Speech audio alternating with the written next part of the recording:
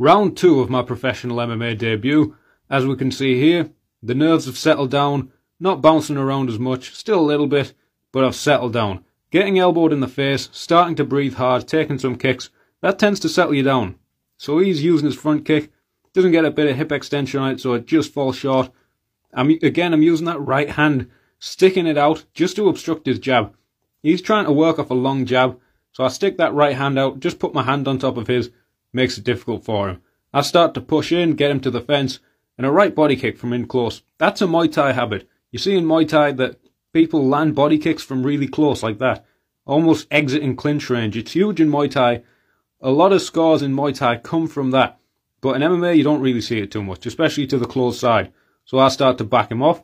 I just literally push him to get him to the fence. Hand fight. Same hand fight as the first round. Fold the elbow over it. I'm starting to stick in there. I go for a single leg as he throws that knee. Not really to finish the single leg, just to make sure I end up in a good clinch position. Like here, I've got my head under his. I get this left collar tie, rip a little shot to the body.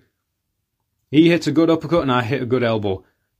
I step back, but I still want to control the centre. I check, nearly takes me off my feet. He's kicking hard, even through the check. But I still want to try and control the centre. He pushes me back a bit. I'm circling. And even though I take that left hook, I push forward to control the centre. I slip and I land a right hand. Left hook, right straight, left uppercut. That left uppercut is a good shout when you've got someone with a good high guard dipping off to their right. Okay, he goes flying knee, and that was really close. I remember thinking I could have been knocked out there, but I just pressure to him, keep him to the fence, land the elbow and the knee, and again I got clipped with an elbow. I get clipped with so many elbows in this fight. Still, I want to hold the centre. He's backing me off just a bit. I hit a left hook, just like a slap hook, playing with my lead hand. We're in this hand fight. There's a lot of hand fighting in this fight. And big push kick to the face. Standing still in front of me, that's something about the push kick to the face is that you can't do it to your training partner.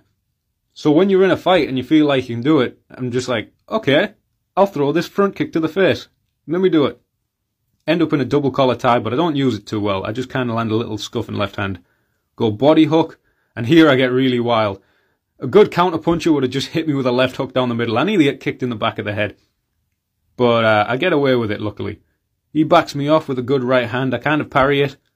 And I'm looking just to keep pressure. Here I'm in zombie mode. We're seven and a half minutes through, halfway through the fight.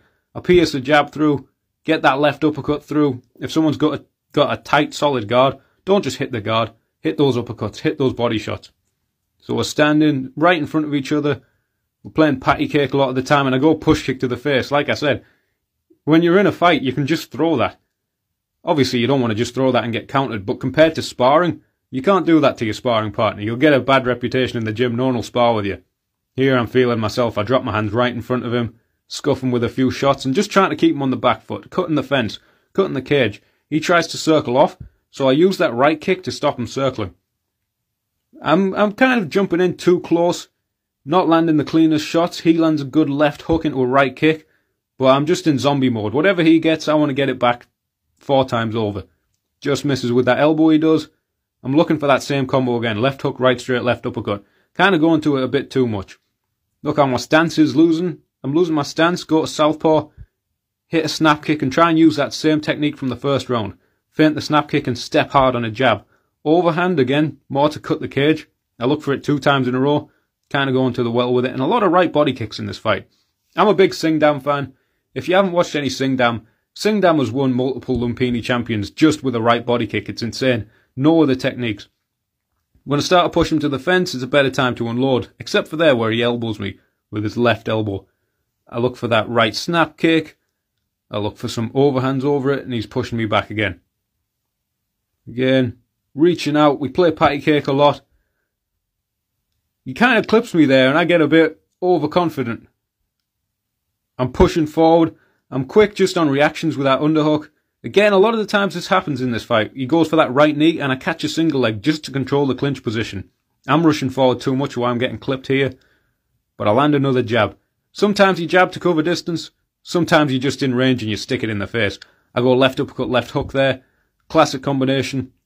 Sometimes just put my cap on what I mean by that is just holding your high guard up by your eyebrows, closing your fists like you've got a cap. I rush him to the fence, and again a knee. A lot, of, I love knees, and a lot of MMA guys don't do them that well.